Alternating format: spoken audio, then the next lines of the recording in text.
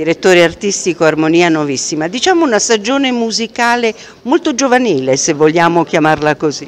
Sì, eh, sono 15 spettacoli, abbiamo eh, cercato di suddividerla un po' in, eh, chiamiamoli, filoni stilistici, stilistici eh, partendo dal classico che raggruppa più o meno 5 spettacoli tra concerto sinfonico, balletto, opera lirica, operetta, passando anche sul pop rock eh, che ha una presenza anche cospicua perché tra i pop classici appunto come Anna Oxa, Edoardo Bennato e Banco del Mutuo Soccorso che ovviamente sappiamo sconfinano per quanto riguarda Bennato e Banco anche sul, sul, rock e poi abbiamo anche uno spettacolo dedicato ai Pink Floyd e un arpista, quindi una musicista molto particolare e talentuosa perché ha su uno strumento antico come l'arpa eseguirà brani rock, appunto arrangiamenti di, dei più grandi autori rock del Novecento.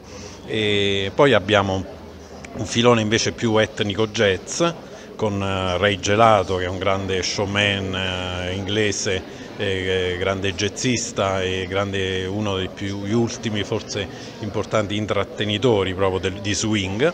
E fino al balletto della Georgia, balletto nazionale della Georgia, che è uno spettacolo mm, anche straordinario che abbiamo già ospitato anni fa con danze acrobatiche appunto eh, che ricordano eh, un po' delle danze proprio più antiche eh, georgiane. E poi il tradizionale appuntamento di fine anno di dicembre con il gospel con un gruppo eh, di Chicago di 35 voci nero-americane. E, mm, Beh, posso dire una cosa? Perché vedo con, con vero piacere Enzo Avitabile che ha un, un carico non indifferente. Sì, forse è il personaggio in qualche modo più in, in realtà più affascinante perché è un, forse l'esponente più alto degli artisti italiani eh, della musica del, della world music appunto italiana, di origine partenopea però ormai di caratura internazionale. Okay. Maestro, volevo chiederle, eh, questo cambio, queste vicissitudini dell'amministrazione hanno arrecato un disagio nella realizzazione del cartellone della stagione? Fortunatamente no, eh, devo dire che eh, diciamo un po' la, la storia che eh, la nostra associazione ha un po' ecco, tracciato tra, tra, mm, il Teatro dei Marzi ormai da 13 anni e altre iniziative abbastanza ormai consolidate come il concerto di Natale oppure il Festival di Alba Fucens sono state anche immediatamente ecco, recepite e, e, apprezzate anche appunto dal commissario prefettizio, da, da, dal suo staff. E abbiamo avuto modo eh, di in qualche modo interloquire e di, eh, di, di illustrare proprio ecco, eh, le finalità, i risultati soprattutto eh, degli ultimi anni, per cui c'è stato ecco, una, in qualche modo un passaggio fisiologico abbastanza agevole. Grazie. Grazie.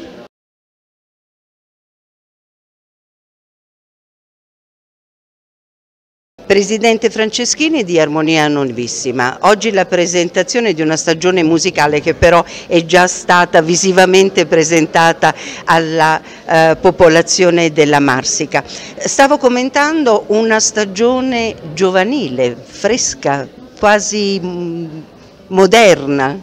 Diciamo questa è un po' la prerogativa del nostro direttore artistico, un anno ha un filone musicale, una certa eh, logica anche riguardando varie eh, date di ricorrenze di artisti, di musicisti antichi, eh, quindi è molto importante portare questo filone. Quest'anno ha ritenuto opportuno queste, questi appuntamenti che io condivido perfettamente anche perché eh, non ha sbagliato un colpo, sono 12 anni che il maestro Massimo Coccia riesce a ottenere una, una stagione che molte altre realtà tra virgolette ci invidiano. Presidente, una campagna abbonamenti già avviata, possiamo già avere dei risultati? La campagna abbonamenti quest'anno è stata veramente travolgente, possiamo dire il termine giusto, eh, abbiamo avuto moltissimi nuovi abbonati anche da altre zone fuori Avezzano e siamo arrivati all'incirca un 550 abbonati. Eh. E, diciamo è il numero più alto di tutti i teatri d'Abruzzo. Forse questo cambiamento nel, eh, in, nel cartellone può essere anche l'incipit per avvicinare di più la popolazione alla musica.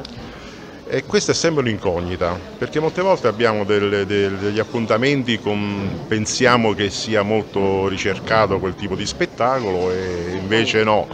Eh, il classico non mente mai, diciamo, l'opera lirica, il balletto, qualcosa di etnico adesso viene molto richiesto, eh, però ecco poi altri personaggi vedevano per, per forza, ecco, per dare anche l'opportunità a molti che hanno diciamo, altre, altre esigenze diciamo, culturali di ascolto deve essere per forza variegato. Insomma. Due serate, debutta a Naux.